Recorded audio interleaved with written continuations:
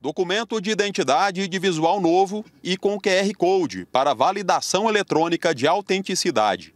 O número do RG deixa de existir. O número usado para registro nacional passa a ser somente o do CPF.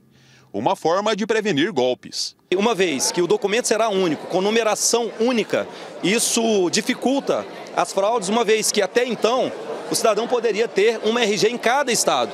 Na medida em que o documento agora será único, com o número do CPF, e o CPF precisa estar regular, isso traz é, maior segurança, diminui as fraudes é, contra o sistema público e também contra o cidadão e, de certa forma, colabora com a economia do nosso Estado também.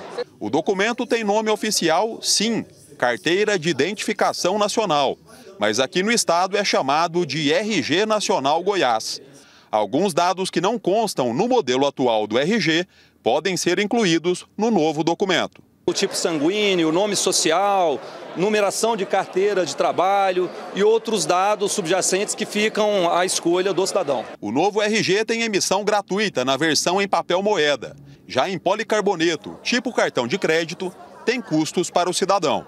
Outra mudança é que o novo RG pode servir de documento de viagem para países do Mercosul, uma vez que possui padrão internacional. No entanto, para outros territórios, ainda será necessária a apresentação do passaporte.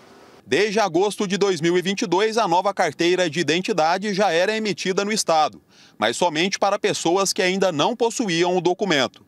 A partir de agora, todas as novas identidades emitidas em Goiás, inclusive a segunda via, passam a ser do novo modelo. Nós vamos obter aí condições de cruzar informações de várias secretarias para nós sabermos também se as nossas ações de governo, tanto no combate à criminalidade, como na educação, na saúde e também nos programas sociais, se estão surtindo efeito esperado daquilo que se investe nesses programas.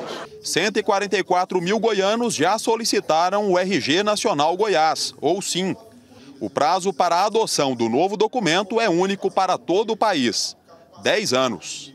O cidadão pode ir a qualquer um dos nossos 137 postos de coleta, seja nas unidades do VaptVupt ou nas prefeituras que têm convênio com a SSP, basta estar munido de documentação exigida por lei. Certidão que comprova o estado civil, nascimento, casamento ou divórcio e comprovante de endereço atualizado.